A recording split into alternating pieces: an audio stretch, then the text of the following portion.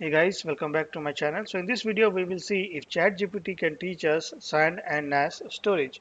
So basically ChatGPT, you may be aware, it's a very popular chatbot these days. So every techie guy is exploring ChatGPT to see if uh, ChatGPT can help uh, them in their day-to-day -day activities or learning new technologies or answering the difficult question. So we will also ask some question to ChatGPT related to storage and we will see if they are accurate enough and end of this video we will conclude that whether we should use ChatGPT or not. So here I have in ChatGPT consoles I have two versions ChatGPT 3.5 which is basically the free version and ChatGPT 4 which is the premium version. So we will ask the same questions to both ChatGPT 3.5 and ChatGPT 4 to see what difference is uh, there in terms of uh, getting the answer.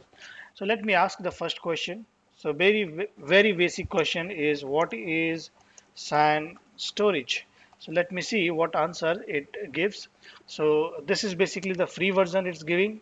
So it has started writing the answer. Now all of this answer I will put in my blog. So the link of the blog will be on the description. You can uh, go there and you can visit what answer is given by ChatGPT. So let go through that. SAN stands for storage area network which is high speed network that enables multiple server access shared storage resources yes kind of true.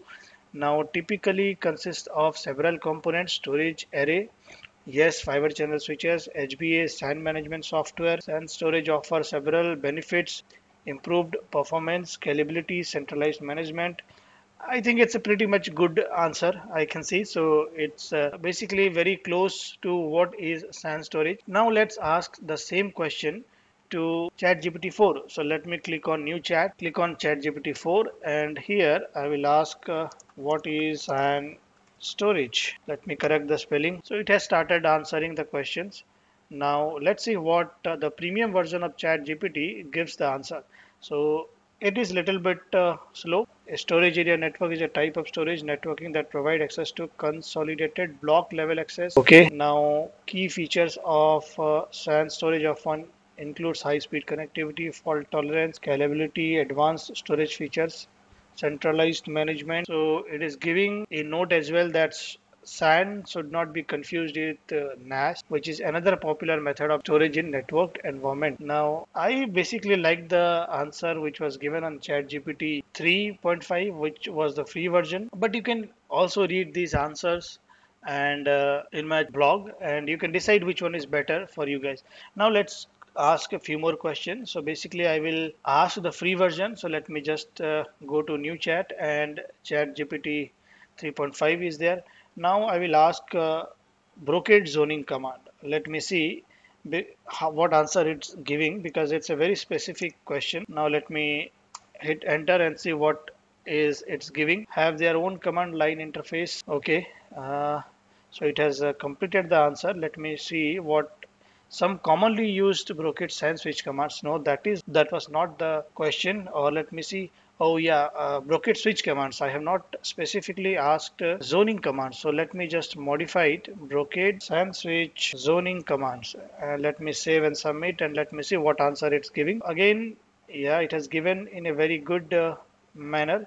But uh, again, let's see what are the commands. So basically, first thing is that configure terminal. Now configure terminal is basically there in Cisco I believe not in uh, Brocade. So create a zone again the config mode it is there. So basically it is giving me the answer for switch Cisco switch zoning commands not for Brocade SAN switch command and again it's a switch config zone add. Basically I think all these commands are CFG save and now here CFG save is basically for Brocade not for Cisco switch. So basically it gets confused here it has given me the answer combinedly from Cisco switch and from the Brocade SAN switch which is not at all very good. Now let's see same command if we'll ask to the premium version of ChatGPT let's see what uh, answer it gives. Let me select ChatGPT 4 and uh, Brocade SAN switch zoning command. Let me see what it is giving. So here is a general list of command you could use to create a zone, add members to zone and activate the zone on the Brocade SAN switch. Exact command can vary depend on specific system and version. Yes, that is true. Now let's see what it is giving. So view current configuration and zone information CFG show. Yes. Now create an alias for the worldwide WWPN of the device. Ali create. Yes the answer is correct. Now create a zone zone create. Zone name alias name colon alias name 2 yes this is the zone create command. Now add the zone to the configuration CFG add the zone name config name and zone name yes that is also correct. Enable the configuration CFG enable CFG config name and finally CFG set. Now this is the exact uh, answer for uh, brocade SAN switch zoning command.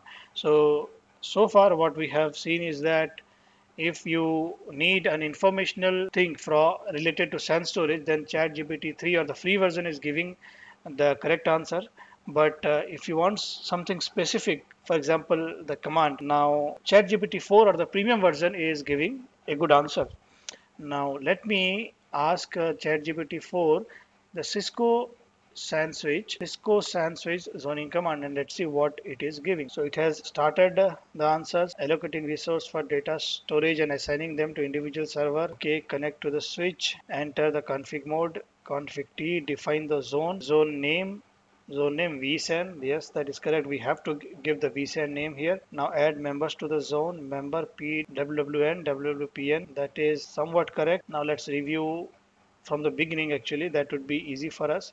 So first two command, yes, that is correct actually zone name. So this will and allow us to enter the zone config mode and there we can add the member WWPN. Then define the zone set, zone set name, zone set name, vsan, yes.